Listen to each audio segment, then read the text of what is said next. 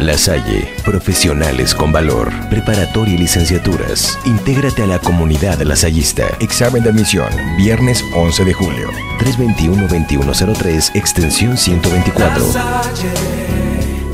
profesionales con valor. Pruebas de talento sábado 12 de julio.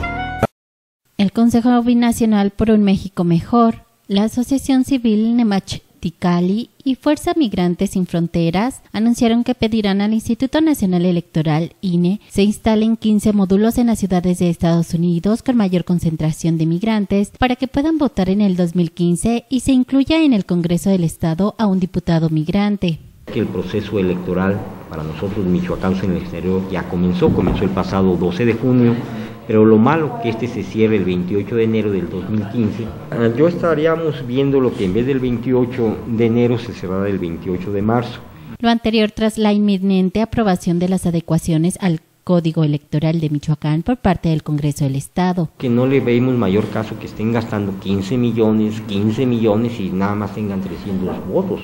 Pero ya estamos sabiendo que el problema real de que no llegan votos es porque no hay credencial de elector.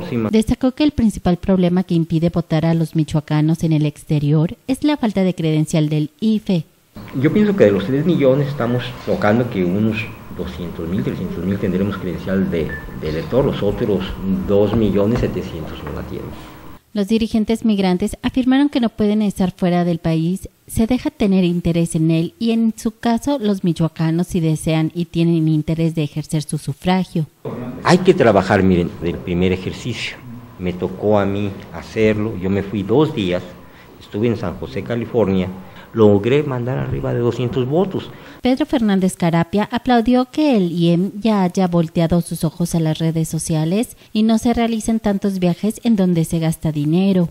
Hay que trabajar a través de las redes familiares para cuando vayan allá sepan a dónde dirigirse, no andar cachando ahí votos como loco por su parte, Efraín Hernández Farfán, presidente de Nemach Ticali AC, señaló los módulos que se instalarán serán en estados como California, Texas, Nueva York, Nevada y Florida.